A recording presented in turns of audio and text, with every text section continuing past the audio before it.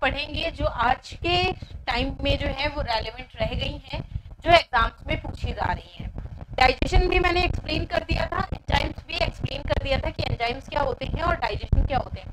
अच्छा डाइजेशन अगर एक लाइन में आपसे कोई पूछे कि क्या होता है तो बहुत सारे जो हैं, जो भी चीज़ें हम खाते हैं, वो क्या होती है, हमारी कॉम्प्लेक्स बायोमोलिक्यूल्स में होती है। अब मान लो कि हमने एक रोटी का टुकड़ा खाया, अब रोटी का टुकड़ा जस्ट जरा सा तो नहीं खाते ना, हम इतना बड़ा पीस खाते हैं। उस इतने बड़े पीस को इतने तक में लेकर आना ही क्या होता है? डाइजेशन होता है। यानी क्या करना कि जो बड़े बायोमोलिक्यूल्स हैं, उनको उनकी सिंपलेस्ट फॉर्म में जो है कन्वर्ट कर देना ही डाइजेशन होता है। एंजाइम्स भी मैंने आपको एक्सप्लेन किया था। डाइजेशन में क्या क्या चीज़ें होती हैं, वो भी सारी एक्सप्लेन की थी। नोट्स जो है वो आपको भट्टेर आई के ऐप पर मिल जाएँगे सो उसके लिए परेशान नहीं होना है, जाकर डाउनलोड कर लीजिएगा। अब स्टार्ट करते हैं डाइजेशन के बारे में। कि डाइजेशन एक्चुअल में जो है वो होता क्या है, किस तरीके से होता है?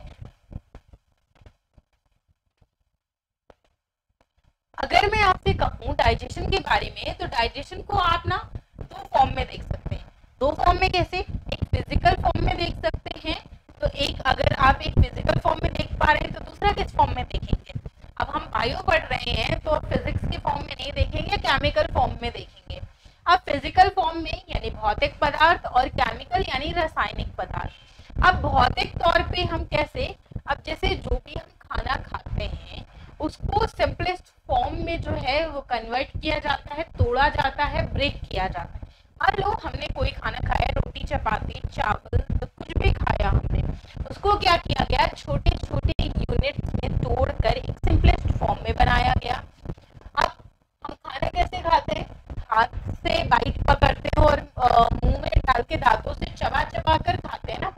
इसीलिए बोला जाता है ना, अगर बेस्ट वे होता है खाना खाने का, कि आप जो है वो फ़ूड को एकदम जो है वो चबा चबा कर खाइए, तब तक अच्छे से उसे खाइए जब तक जो है वो आपके मुँह में जो है वो हल्की सी सलाइवन मिक्स ना होने लगे आपके फ़ूड के साथ और आपको एक अलग टेस्ट आने लगता तो अब जो है वो आप उस तरीके से खाते हैं। फिर आपने जो है वो गले के आप जो है वो आ, अपना खाना जो है वो लेकर जाते हैं आपके पेट में जाता है। ये आपका फ़िज़िकल फॉर्म होता है। तो आखिर केमिकल फॉर्म क्या होगा? अब आपके दिमाग में फ़िज़िकल फॉर्म में भी काफ़ी सारी चीज़ें आ रही होंगी कि आपने तो सोचा था कि अच्छा सिर्फ़ जो खाना रखा हुआ है वही फ़िज़िकल फॉर्म है। नहीं खाने को खाने से लेकर अंदर ले जाने तक जो है वो सारा का सारा आपका फ़िज़िकल फॉर्म में आता है। तो आखिर केमिकल फॉर्म में क्या आता है? ये सिर्फ़ आपको समझना है यहाँ से एग्ज़ाम में क्वेश्चन नहीं पूछे जाएँगे। एग्ज़ाम में क्वेश्चन आगे कहाँ से पूछे जाएँगे मैं बताऊँगी। ये सिर्फ़ आपको एक्सप्लेन जब चीज़ें ज़्यादातर मैं ना लिखूं या सिर्फ़ एक्सप्लेन करने पर मोटिव हो तो आप सिर्फ़ सुनने पर ध्यान दीजिएगा। अब डाइजेशन में मैंने लिखा आप फ़िज़िकल फॉर्म केमिकल फॉर्म लिखना मत स्टार्ट कीजिएगा। हम खाना खाते हैं चबाना चालू करते हैं फ़िज़िकल फॉर्म होता है। केमिकल फॉर्म क्या होता है ये सब नहीं आ, जो है वो लिखना स्टार्ट करें। क्यों? ये मैं आपको डाइजेशन इसलिए एक्सप्लेन करना चालू कर रही हूँ ताकि एक्चुअली में आपको प्रोसेस पता हो, आपको चीज़ें पता हो कि किस तरीके से हो रही हैं। सारा एक मेथड जो है वो किस तरीके से हो रहा है। तो चलिए, अब आते हैं अपने केमिकल फॉर्म में कि केमिकल फॉर्म में क्या चीज़ें होती हैं। अब जैसे हम एंजाइम्स होते ना, अभी हमने प्रीवियस क्लास में डाइजेशन और एंजाइम्स समझा था ना तो वहीं पर हम ये चीज़ें कह सकते हैं कि जैसे जो एंजाइम्स होती हैं एंजाइम्स के थ्रू जो भी हमारे भोज्य पदार्थ होते हैं, जो भी हम खाना खाते हैं, उनकी एक प्रोसेसिंग होती है। अब उन्हीं एंजाइम्स के थ्रू जो हमें, जो हमने फ़ूड इनटेक किया होता है फ़िज़िकल फॉर्म में, उसी फ़ूड से हमको कार्बोहाइड्रेट्स प्रोटीन्स वसा, सारे के सारे ये जो पदार्थ होते हैं, ये सब ये सब किससे कन्वर्ट होते हैं? ये सारे के सारे जो हैं, वो हमारे एंजाइम से कन्वर्ट करके आते हैं। अब हम कोई भी फ़ूड जो है वो खा लेते हैं। अब पाचन क्रिया के बाद जो है वो हमारा फ़ूड जो होता है वो एक सिंपलेस्ट फॉर्म में कन्वर्ट हो जाता है और फिर उसके बाद जो है वो डाइजेशन वगैरह हो जाता है, पाचन हो जाता है, वो सारी प्रोसेस आगे आप जानते हैं। अगर हम बात करें तो जो भी हम फ़ूड खाते हैं, उस फ़ूड में जो पाचक रस में जो विद्यमान जो एंजाइम्स होते हैं ना, वो एंजाइम्स क्या करते हैं? उस फ़ूड को पाचन क्रिया तक जो है वो पहुँचाने में मदद करते हैं। और इन्हीं में जो है काफ़ी सारी चीज़ें पाई जाती हैं। जैसे टाइलिन नामक जो है, ये एक एंजाइम होता है। अब जो टाइलिन नामक एक प्रकार का जो एंजाइम होता है, इसी के ही प्रभाव से जो है, जैसे आपने फ़ूड वगैरह या कोई फ़ूड पैकेजिंग पैकेट वगैरह सुना होगा तो आपने उसमें स्टार्च वगैरह जो है वो लिखा हुआ, देखा होगा।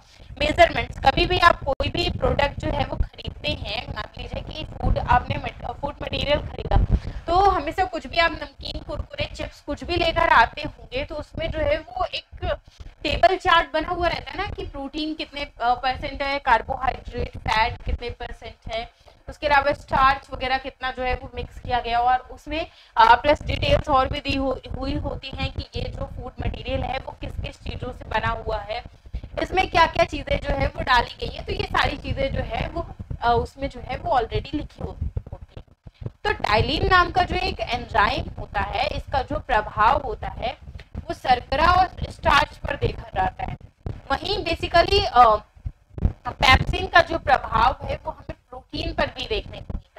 इसके बारे में जो है, वो आगे बहुत सारी चीज़ें डिटेल में हम देखेंगे। जैसे अगर हम पोषण नाल की बात करें, पोषण नाल को भैया हिंदी में क्या, वो इंग्लिश में क्या बोलते हैं, आपके दिमाग में आ सकता है। ये जो हमारी आहार नाल होती है, मैंने आपको प्रीवियस क्लास में बताया था एलिमेंट्री कैनल के बारे में। और मैंने यहीं से जो है, वो सेशन हमें अपना स्टार्ट करना था एलिमेंट बेसिकली एलिमेंट्री कैनल से। या कैनाल भी आप कह सकते हैं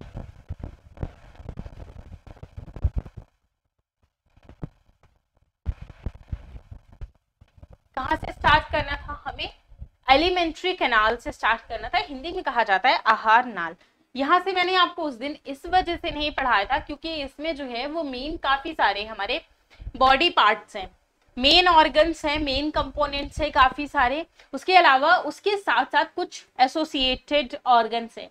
जैसे आपने एक कंपनी में जॉब सुनी होगी तो एक मेन जॉब होती है, उसके अलावा कुछ जो है, वो असिस्टेंट्स की या एसोसिएटेड जॉब्स होती हैं। क्यों सेम हमारा बॉडी भी आप इसे एक कंपनी के तरीके से समझ सकते हैं। हमारे बॉडी में कुछ जो है वो मेन ऑर्गन्स हैं और कुछ जो है वो एसोसिएटेड पार्ट्स हैं, उनके या एसोसिएटेड ऑर्गन्स हैं। अब ये वो हैं, ये वो संरचनाएँ हैं जो हमारे मेन जो बॉडी पार्ट्स हैं, जो मेन कंपोनेंट्स मेन ऑर्गन्स हैं, उनको कहीं ना कहीं ये जो है वो हेल्प करते हैं। आइए इनको जो है वो टू पार्ट्स में एलिमेंट्री कैनल यानी आहार नाल को डिवाइड करते हैं। डोंट वरी मैं नेम अभी इंग्लिश में लिख रही हूँ बट मैं इनके नेम हिंदी में भी आपको बता दूँगी। प्लस जो भी आपको नोट्स मिलेंगे वो टोटली हिंदी में मिलेंगे। आप ऐसा मत सोचिएगा कि हिंदी इंग्लिश दोनों में मिल रहे हैं या आ, क्या चीज़ें हो रही हैं।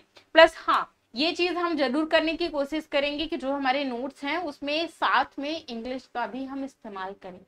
क्यों?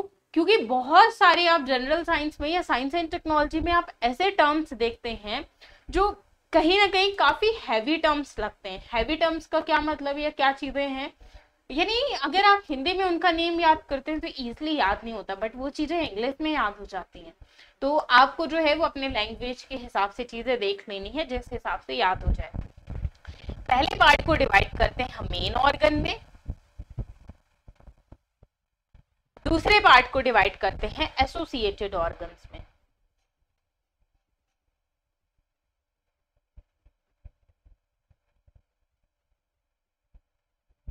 अब भैया मेन ऑर्गन्स में हमारे कौन कौन से आते हैं? हमारा माउथ आ जाता है, मुँह।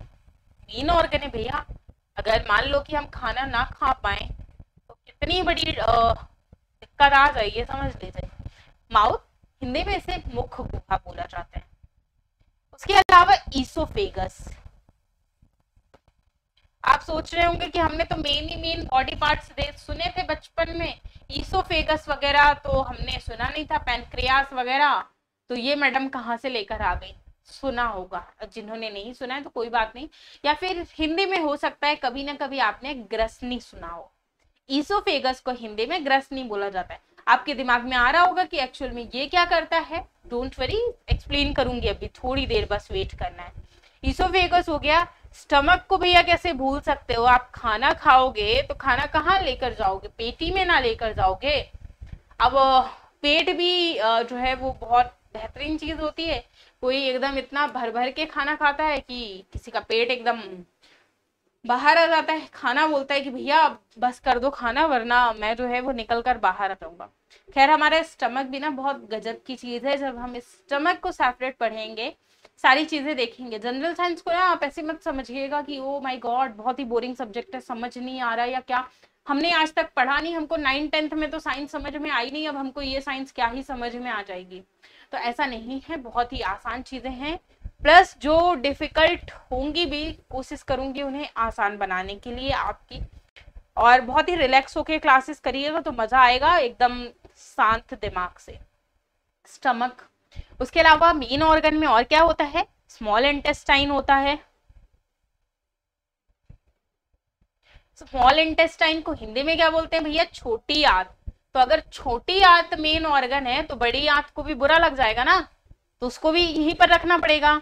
तो जो हमारा लार्ज इंटेस्टाइन होता है, यानी जो बड़ी आंत होती है, वो भी हमारे मेन ऑर्गन्स में ही आती है। इतने आपके मेन ऑर्गन्स होते हैं। तो आपके एसोसिएटेड ऑर्गन्स या फिर जो है एसोसिएटेड ऑर्गन्स या फिर ग्लैंड्स क्या होते हैं, चलिए उनके बारे में भी जानते हैं।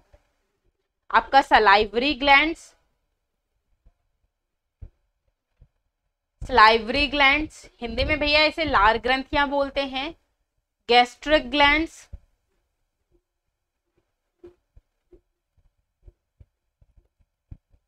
यानी कि जठर ग्रंथियाँ, पेनक्रियास हिंदी में क्या बोलते हैं? अग्नाशय गॉल ब्लैडर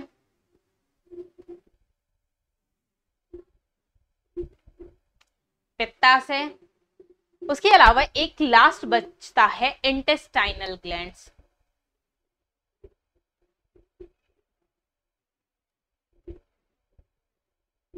लिखना चाहे तो लिख लीजिएगा अदरवाइज़ नोट्स में आपको मिल जाएगा। सो परेशान नहीं होना। इतनी चीज़ें हैं। उम्मीद है कि सारी चीज़ें जो है वो समझ में आ गई होंगी। अब इसमें भी अगर आप पढ़ना चाहें ना तो बहुत सारी चीज़ें हैं ऐसी जो बेसिकली आप पढ़ सकते हैं। एक एक लाइन में बताना चाहूँगी। माउथ के बारे में अगर हम बात करें तो जो हमारा माउथ होता है, इसके साथ जो हमारी दांत और जीभ जो है, वो साथ ही में होते हैं। ये हमारा एक माउथ है। इसमें आपके दांत हैं। जो बोलते हैं लोग कि जब भी लड़ाई वगैरह हो जाती है तो लोग बोलते तुम्हारी बत्तीसी तोड़ देंगे या सारी तुम्हारी बत्तीसी निकाल के रख देंगे। तो अगर कोई बोले तो उनको बोलिएगा कि, भैया, अभी हमारी बत्तीसी नहीं है, अभी हमारे जो है वो अट्ठाईस ही है। क्योंकि एक्चुअल में होता क्या है कि ये जो है, ये पेयर क्या लोग जो है, अगर जिनके आ जाते हैं बहुत सारे लोग ऐसे होते हैं कि एक particular thirty five, forty forty five की एज तक आते आते भी उनको जो है लास्ट के जो बत्तीस दांत होते हैं टोटल वो नहीं आ पाते हैं। तो खैर, कोई ज़रूरत भी नहीं है, अगर ना भी आए तो भी काम चल रहा है, इतने में चल रहा है। वो जो है, यहाँ ये ये जो इधर इधर जो दांत आ जाते हैं दो दो वो ना एक्स्ट्रा ही रहते हैं, कोई उनका एज सच कोई रोल या काम होता नहीं है। हाँ बस दिमागी दांत वगैरह, ऐसी बहुत सारी चीज़ें होती है, लोग बोलते हैं। तो वो तो माउथ याद रखिएगा, जीभ से और आपके दांतों से कनेक्टेड होता है। यानी दो चीज़ें इसमें इन्वॉल्व होती हैं, शामिल होती हैं। उसके अलावा हमारा ईसोफेगस आ जाता है। ईसोफेगस जो है, ये क्या काम करता है? भैया, ये मेन ऑर्गन में इसलिए रखा गया है क्योंकि जो आपका भोजन होता है ना, भोजन को अमाशय तक पहुँचाने का कार्य ही हमारे जो है, ये ग्रसनी का होता है। इसे ग्रास नली भी बोला जाता है ईसोफेगस को। तो फिर स्टमक क्या करता है? अमाशय क्या करता है? स्टमक जो है, ये एक प्रकार का जो है, वो पेशीय थैला होता है। एक आपको ना बैग टाइप दिखेगा। पर ये बैग ना, वो सब्ज़ी लाने वाला बैग या बुक लाने वाला बैग नहीं, ले जाने वाला बैग कि जो है, वो साल, दो साल में फट जाता है। ये जो है, ये आपका जाने कितने टाइम तक जो है चलता है। और मान लीजिए, अगर फट जाए या कोई प्रॉब्लम हो जाए ना तो बहुत सारी चीज़ें जो हैं वो कहीं ना कहीं बिगड़ जाती है। आगे क्या क्या प्रॉब्लम्स होती है उनके बारे में हम देखेंगे। लेकिन स्टमक का जो मेन काम है वो याद रखिएगा इसे पेशी थैले के रूप में जाना जाता है। और इसमें जो है प्रोटीन का एक आ, प्रोटीन का जो है आ, क्योंकि प्रोटीन जो है वो अपने बहुत ही कॉम्प्लेक्स फॉर्म में होता है तो उसको सिंपल यूनिट में कन्वर्ट करने की जो प्रक्रिया वगैरह होती है ना वो पूरी जाके स्टमक में ही कंप्लीट होती है। स्मॉल इंटेस्टाइन और लार्ज इंटेस्टाइन का क्या काम है?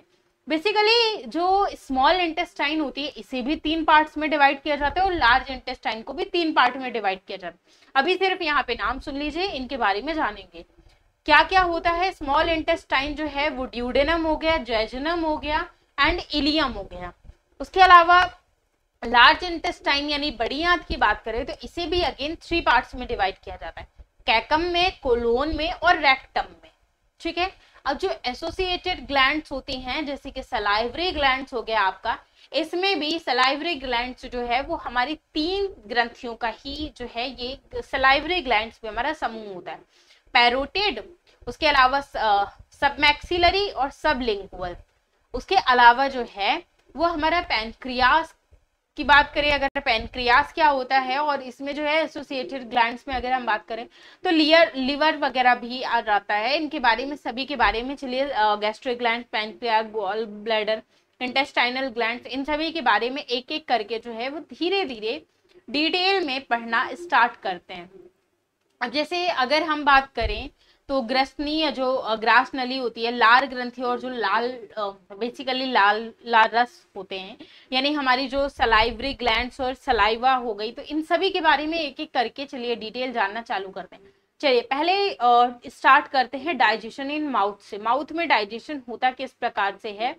सो समझने का प्रयास करते हैं। बेसिकली अगर हम बात करें उसके अलावा एक चीज़ और बताना चाहूँगी कि मेरी जो ड्राइंग है, वो थोड़ी सी भले ही मैं जनरल साइंस पढ़ाती हूँ बट मेरी ड्राइंग कुछ खास ज़्यादा अच्छी है नहीं। तो अगर मैं कभी बना दूँ डायग्राम तो वैसे कोशिश करूँगी कि ना बनाऊँ, क्योंकि ऐसा इतनी अच्छी है नहीं। तो और आपको नोट्स में जो है, वो मिल जाएँगे डायग्राम उसमें थोड़ी ढंग के बने हुए हैं बट उतने भी ढंग के नहीं बने हैं बट फिर भी ठीक ठाक बने हुए हैं।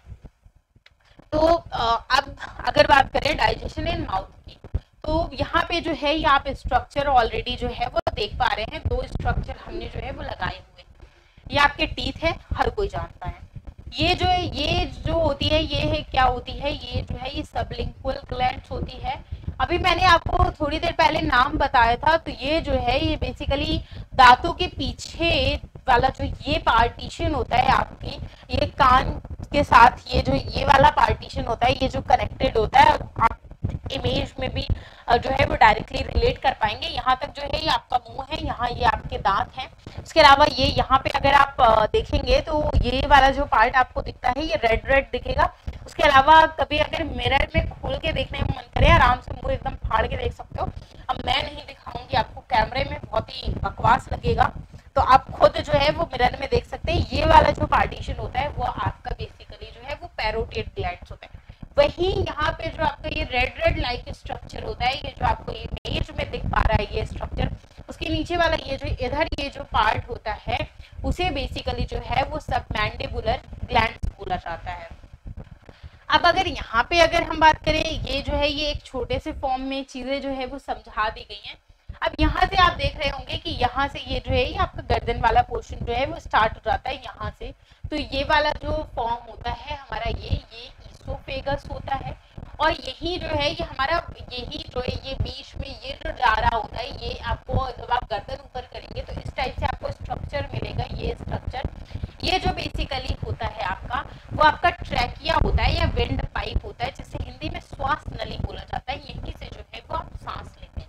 तो जब लोग बोलते हैं ना टेटुआ दबा देंगे तुम्हारा तो तुम एकदम कायदे से हो जाओगे या लाइन से आ जाओगे, ऐसे बहुत सारी चीज़ें लोग भूमिका देते हैं ना। इसलिए देते हैं। क्योंकि ये हमारा वेल्ट पाइप होता है। अगर मान लो कि किसी ने यहाँ पे यहाँ पे दबा दिया तो जो है वो सही ढंग से जो है वो इंसान सांस नहीं ले पाएगा। उसके अलावा ये कभी करना मत। और इसमें जो जनरल साइंस वाली क्लासेस में भैया एक डिस्क्लेमर और दे दूँ।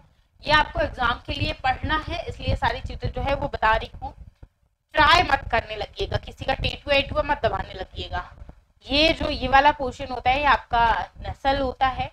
यहाँ से जो है ये आपकी एयर जो है वो जाती है, यहाँ से आप मुँह से जो है ये सॉरी ये जो नाक वाला जो पोर्सन होता है, यहाँ से आप जो है वो एयर लेते हैं। एक जो है वो एक नाक से एयर आप जनरली लेते हैं और एक से जो है वो छोड़ते हैं। तो ये चीज़ें जो है वो इस तरीके से होती है और भी काफ़ी सारी चीज़ें हैं। आप देख सकते हैं यहाँ पे ये जो पोर्शन होता है, ये आपका जॉ होता है। तो इतनी चीज़ें जो है मेन मेन जो नेम थे वो मैंने समझा दिए हैं। और मेन मेन चीज़ें ही समझने का जो है वो प्रयास करिएगा। अगर हम बात करें मुख गुहा से तो मुख गुहा से बेसिकली तीन जोड़ी जो है वो लाल ग्रंथियाँ पाई जाती कौन कौन सी तीन ग्रंथियाँ होती हैं? पहली ग्रंथि होती है पैरोटेड। अब ये पैरोटेड क्या करती है? पैरोटेड या फिर कहाँ पर होती है? पैरोटेड बेसिकली जो है वो गाल के पीछे होती है। अभी आपने इमेज में ऑलरेडी देखा। कहाँ पर होती है भैया? गाल के पीछे होता है। सेकेंड होती है सब मैंडिबुलर अब ये सब मैंडिबुलर क्या करती है? नीचे वाला जो हमारा जबड़ा होता है, ये जो नीचे वाला, ये वाला जबड़ा होता है, इसके पास जो है वो सब मैंडिबुलर पाई जाती है. और सब लिंगुअल कहाँ पाई जाती है? जो हमारा जीव होती है, जीव का जो नीचे वाला पोर्शन या जो नीचे वाला पार्ट होता है, वो बेसिकली हमारा सब लिंगुअल का पार्ट होता है. अब जो हमारी लाल लाल ग्रंथियाँ होती है, जैसे आपको भी कभी जो है वो लाल आती होती है, जब बहुत बार होता है। जैसे आपने जनरली कभी आप व्रत वगैरह रखते हैं तो आपको या फिर आप काफ़ी देर तक जो है, वो बोलते रहिए तो भी आपको महसूस होगी। तो खैर लार ग्रंथियों के बारे में आप ऑलरेडी जानते हैं। तो जो हमारी लार ग्रंथियाँ होती हैं, उनसे जो है, एक पानी जैसा पदार्थ श्रावित होता है। ये सावित यहाँ पे लिखा है एक्चुअल में जो गूगल माइक है, वो सपोर्ट नहीं करता है बहुत बार। तो ये श्रावित को सावित लिख जाता है या बहुत सारी ऐसे मिस्टेक्स हो जाती है। तो खैर पीपीटी पे आप नहीं जाइएगा, वो ऐसी बीच बीच में आपके लिए लगा दी है प्लस जनरल साइंस जो है, वो आप दोनों तरीके से कह सकते हैं। इसमें पीपीटी की काफ़ी ज़्यादा ज़रूरत पड़ती भी है और काफ़ी ज़्यादा बार जो है, वो आपको लिखना भी पड़ता है। तो इसीलिए जो है, ये दोनों का कॉम्बिनेशन है जनरल साइंस तो आपको थोड़ा सा देखना पड़ेगा। क्योंकि एक्चुअली में उस तरीके से डायग्राम्स वगैरह जो है, वो आपको इमेज के थ्रू ही समझ में आएँगे। प्लस उसके अलावा बहुत सारे वीडियोस वगैरह भी कुछ एक एक दो दो मिनट के होंगे, वो मैं दिखा नहीं सकती हूँ इसमें। बट मैं बता दिया करूँगी तो आप उन्हें जो है, वो अपनी अंडरस्टैंडिंग के लिए देख सकते हैं। बट पहले ही डिस्क्लेमर कच्चे दिल वाले ना देखे। जिन्होंने बचपन से ये सोच रखा था कि हमको जो है, वो मेडिकल वगैरह में नहीं जाना है, हमारी डॉक्टरी वगैरह बस की नहीं है। क्यों? क्योंकि हम किसी को सुई लगते हुए नहीं देख सकते हैं, किसी का खून नहीं देख सकते हैं तो वो बिल्कुल ना देखें। एग्ज़ाम में वहाँ से पूछा जाना नहीं है, बस आप अपने बेसिक अंडरस्टैंडिंग के लिए देख सकते हैं। तो जिनको ऐसी चीज़ें कभी लगी हैं, वो आप बिल्कुल ना देंगे बहुत बार ऐसा होता है ना कि जब ऑफलाइन क्लासेस होती है ना तो कुछ बच्चे जो हैं, खासकर उसमें आप लड़कियों को ज़्यादा कंसिडर कर सकते हैं कि ना जैसे बहुत बार स्टमक वगैरह के अंदर का जो है वो स्ट्रक्चर दिखाया जा रहा है या ह्यूमन बॉडी का अंदर का जो है वो स्ट्रक्चर दिखाया जा रहा है तो उनको ना बहुत अजीब सा लगने लगता है और बहुत सारे लोगों को तो इवन जो है वो चक्कर आ जाते हैं। इवन अगर मैं अपनी बात करूँ तो एक टाइम था पर्टिकुलर जब मेरा अगर मान लीजिए कि ब्लड निकाला जा रहा है, मान के चलिए चक्कर आने जो है वो तय होते थे कंफर्म था। इतनी इतनी जो है वो बट क्लास वगैरह में या कभी इन सब चीज़ों को देखते हुए या पढ़ाते हुए मुझे ऐसा नहीं फील हुआ। मतलब जब मैं वो वीडियोस वगैरह देखती हूँ, मुझे कोई प्रॉब्लम नहीं है। बट जब वो चीज़ें मैं रियल में देखती हूँ, मैंने जब नॉर्मली अगर मैं ब्लड देख लूँ या अगर हाथ में भी जैसे एक बार ऐसा हुआ है कि हमारी दादी काफ़ी ज़्यादा बीमार थी तो उनको ब्लड की भी नींद नीड थी ब्लड चढ़ना था तो एक यूनिट उनको जो है वो चढ़ रहा था एक यूनिट हमारे पास तो मेरे भैया ने एक्चुअल में क्या किया कि मुझे पकड़ा दिया हाथ में और वो ढका वुगा नहीं था, ऐसी था। बोले कि इसे पकड़ लो। तो एक्चुअल में मैं ये चीज़ रियल बता रही हूँ कि मुझे उसे, जैसी वो मेरे हाथ में है मुझे ब्लड देख के जो है वो अजीब लग रहा था। ऐसा लग रहा था कि मेरा पूरा सिर घूम रहा है, मुझे चक्कर आ रहे मैंने तुरंत जो है वो नेक्स्ट पर्सन को पकड़ा है। मैंने कहा, भैया, ये मेरे बस का नहीं है। इसे या तो आप बैग में डाल लीजिए या फिर अपने पास जो है वो रखिए।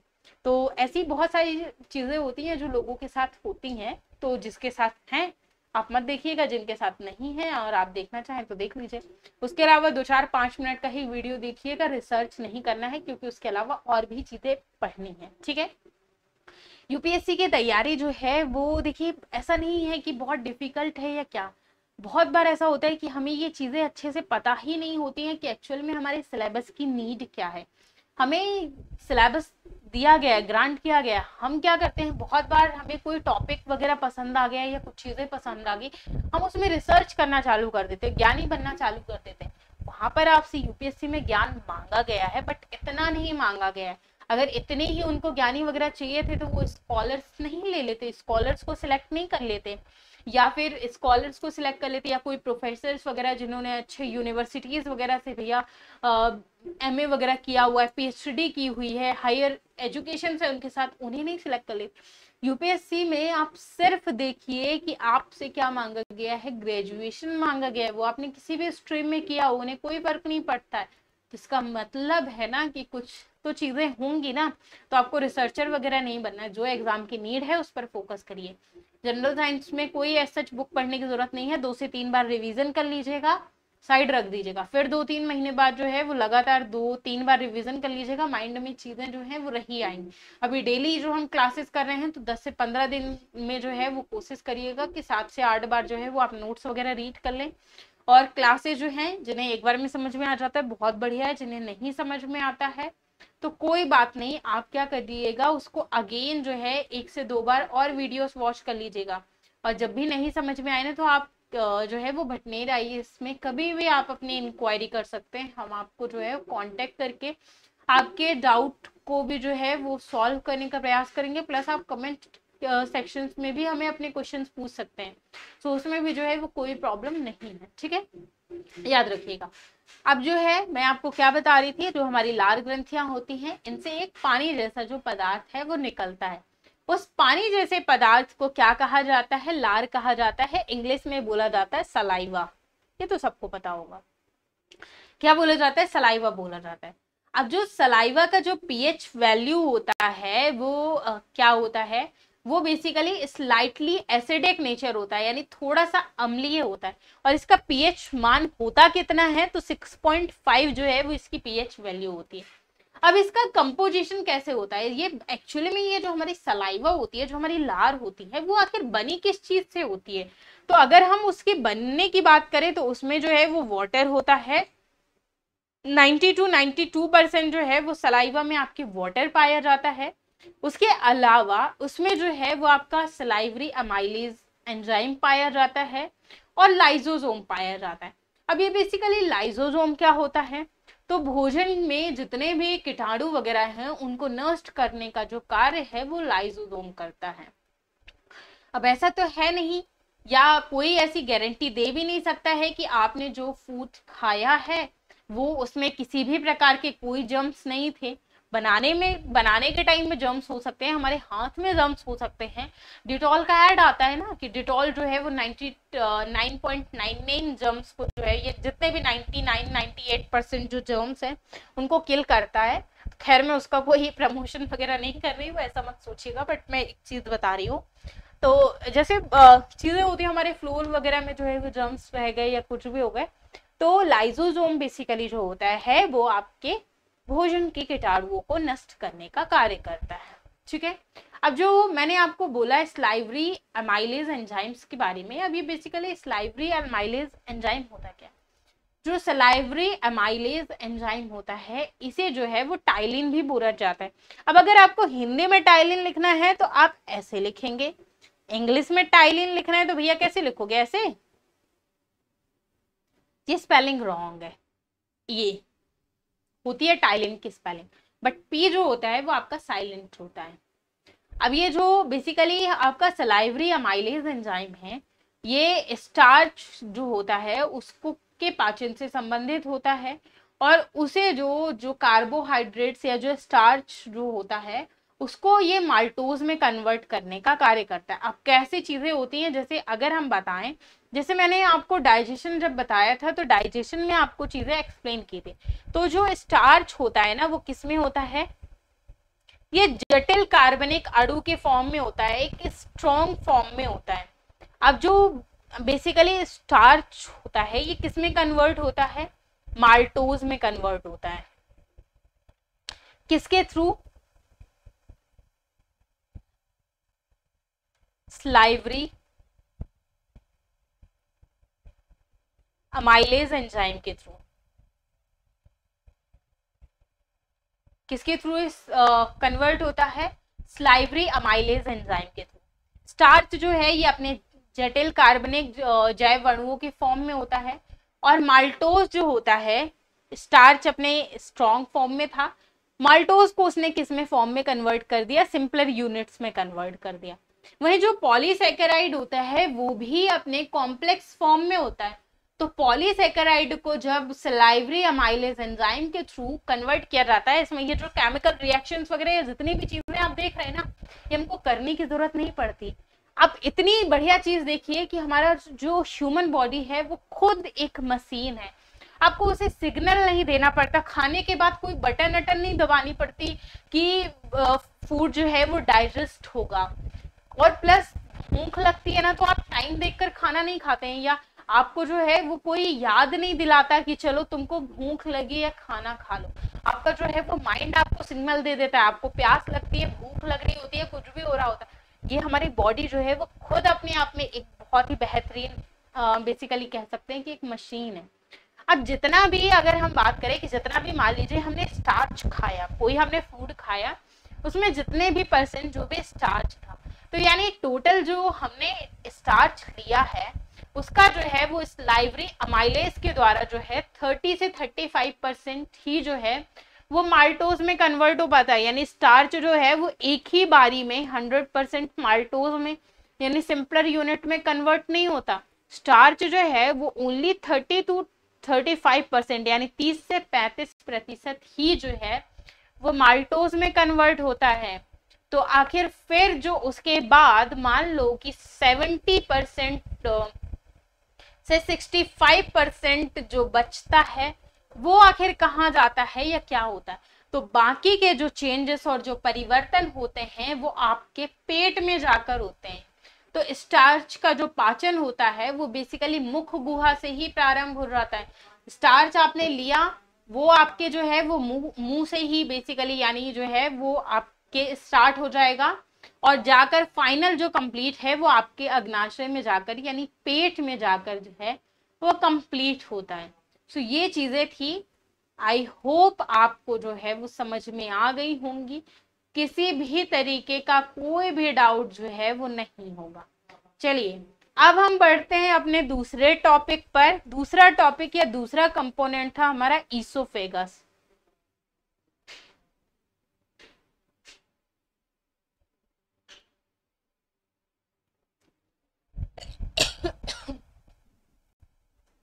बस एक मिनट दीजिएगा, पानी पी लू।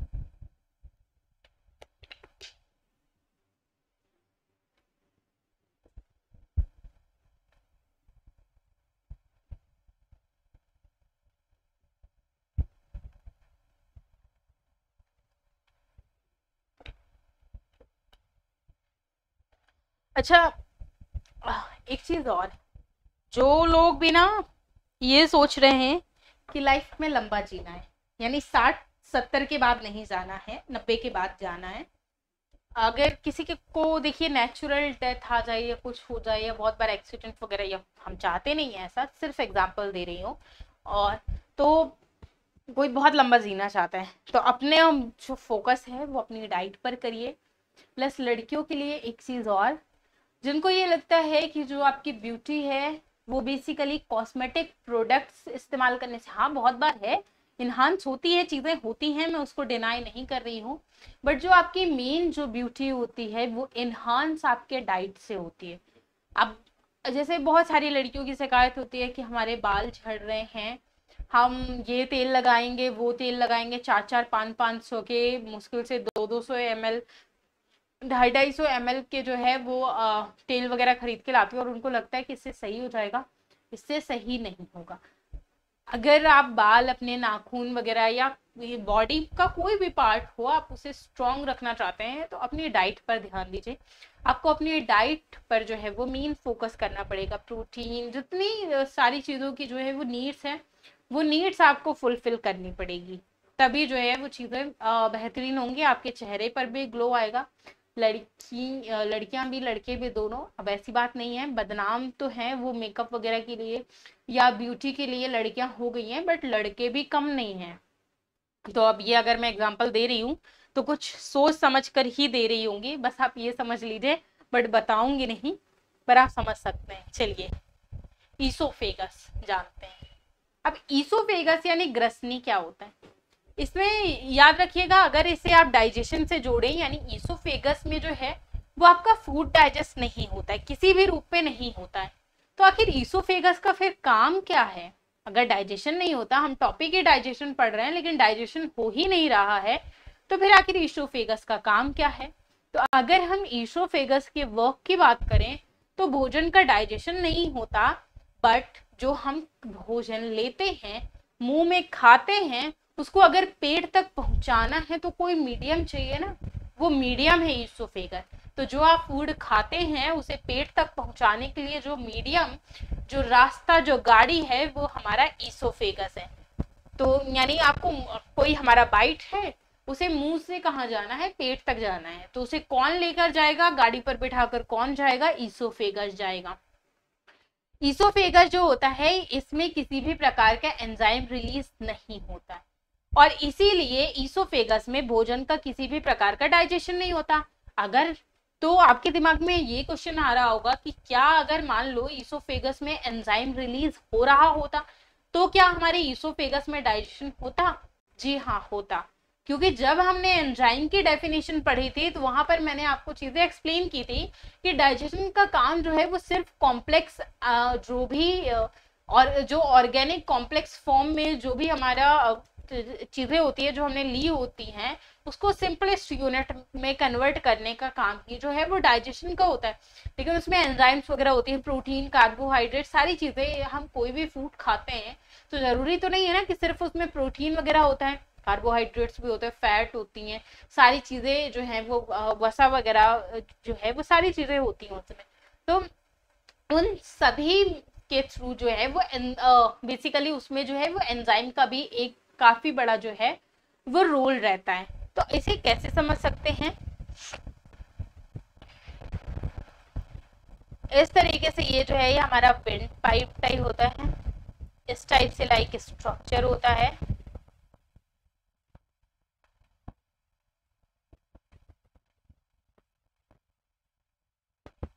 इस टाइप से। ये आपका पेट होता है। लग रहा है पेट या नहीं लग रहा? अगर नहीं लग रहा हो तो भी इमेजिन कर लेना। ये आपकी ग्रसनी होती है। ठीक है? तो हमने समझ लिया ईसोफेगस अब समझना है डाइजेशन इन स्टमक ये आपका क्या है? ये आपका ह्यूमन डाइजेस्टिव सिस्टम है।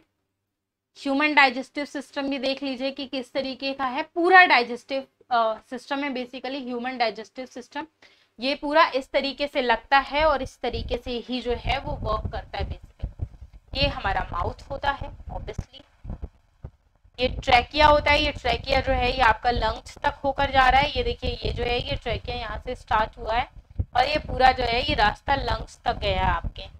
ये वाला जो पोर्शन होता है, ये आपका थ्रोट होता है। यही जो आपका, ये जो पोर्शन जा रहा है, ये जो रास्ता है ना, मुँह से पेट तक का तो ये जो है, ये ईसोफेगस है। अब लोग बोलते हैं ना कि जैसे आपने बहुत बार सुना होगा कि जो लोगों के दिल का रास्ता है वो उनके पेट से होकर जाता है। तो ये जो रास्ता है ना, इसी को क्या बोला जाता है? ईसोफेगस बोला जाता है। ये स्टमक होता है, सभी को पता है और स्ट्रक्चर काफ़ी हद तक हमने वैसा ही बनाने का कोशिश किया है। लीवर वगैरह होता है गॉल ब्लेडर होता है बाइल डक्ट होता है लार्ज इंटेस्टाइन ये आपकी लार्ज इंटेस्टाइन होती है। इसे कौन नहीं पहचानता होगा इसे हर कोई जो है वो पहचानता होगा। इसके अलावा वहीं अंदर में ये जो इंटेस्टाइन होती है ये आपकी स्मॉल इंटेस्टाइन होती है तो ये सारी चीज़ें एक एक करके धीरे धीरे जो है वो हम सारी चीज़ें देखनी चालू करेंगे। चलिए अभी हमें जो है वो बेसिकली किसके बारे में पढ़ना है? डाइजेशन इन स्टमक में पढ़ना है कि स्टमक में जो है वो डाइजेशन वगैरह जो है वो किस तरीके से होता है? सो so, चलिए।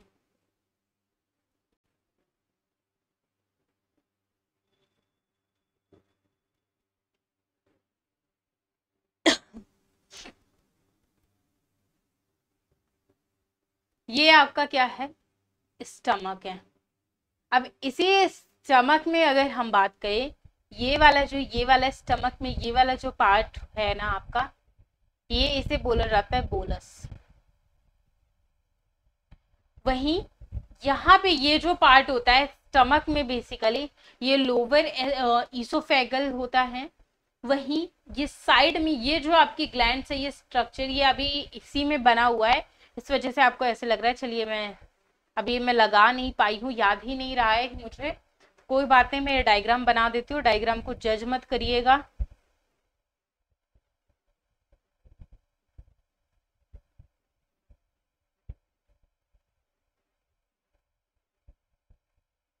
थोड़ा सा अजीब पढ़ना है बट जज मत करिएगा, कोई बात नहीं। यहाँ पर एक ग्लैंड होती है, उसे क्या बोला जाता है? उसे पाइलोरिक ग्लैंड ग्लैंड बोला जाता है। इन सभी के फ़ंक्शंस देखेंगे ये क्या करते हैं, सारी चीज़ें कैसे होती हैं। ये आपका मेन बॉडी पार्ट होता है, ये जो है, ये पूरा अंदर वाला, ये आपका मेन बॉडी पार्ट है।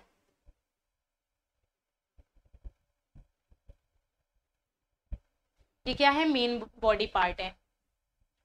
ये ये जो अंदर, ये जो रास्ता जा रहा है, इसे बोलस बोला जाता है। और यहाँ पे भी एक नली टाइप की होती है इस नली को जो है वो लोअर ईसोफेजियल बोला जाता है।